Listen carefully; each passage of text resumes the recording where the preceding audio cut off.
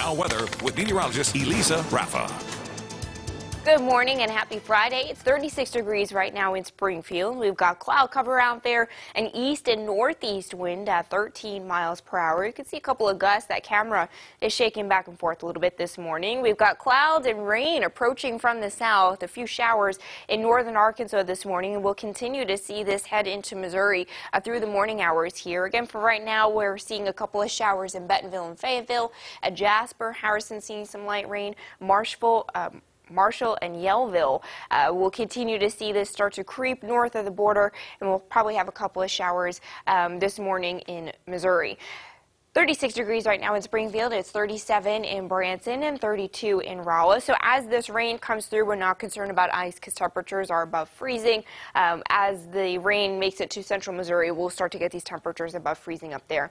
Again, we've got this uh, low to the south, a stationary front uh, to the south and east. A couple of showers will come up with this as we head through the day today as we increase that low level moisture. Then we're watching Saturday's storm currently spinning over the desert southwest. That uh, makes makes it to uh, our area by tomorrow morning. So hour by hour, we'll have a couple of spotty showers this morning. We'll keep things probably damp through the afternoon, maybe one or two showers clouds thick uh, with a temperature of 46 degrees. Temperatures do not go far overnight tonight because we'll keep the clouds and some spotty showers, so we only drop to about 43 degrees overnight tonight. Things staying very warm.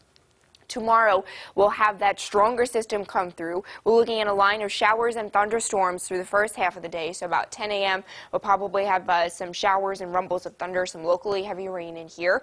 Uh, with this, we could have an isolated severe threat. I'll detail that in a second. Uh, we'll have that push to the east pretty quickly because we'll have dry air come in right after that. So by 2, 3, 4 o'clock, we'll have things dry, and maybe some peaks of sunshine, and we'll have winds really pick up. The wind a threat in the afternoon could be significant for us at 61 degrees for that high temperature. Between today and tomorrow for that rain forecast, we're looking at light rain today, but by tomorrow we could pick up another inch of rain to the south and east here from West Plains to Mountain Home, and that's bad news because that's the area that's already saturated. So so limited flood threat uh, there through Saturday. Uh, not expecting all too much up around Springfield. Then we've got to talk about the severe side of this.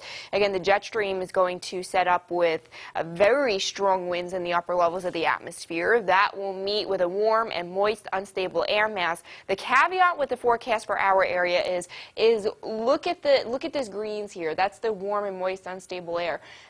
Eh, it might be tough to get it to Springfield, to our area. So that's why we're looking at an isolated severe risk for us because we'll have one ingredient but maybe not so much of the other. So we're looking at maybe one or two strong to severe storms, mainly to the south and east of Springfield in this green here in this marginal risk. We're looking at uh, south of I-44, east of Highway 65. That's going to be where we've got that threat for one or two strong to severe storms. We're mainly looking at a threat for large hail and damaging winds, but an isolated tornado cannot be ruled out. So have to keep an eye out for that. And then again, we've detailed that localized flooding threat. So what to expect, we've got that severe threat to the south and east from the morning to the early afternoon, mainly wind and hail with an isolated tornado possible.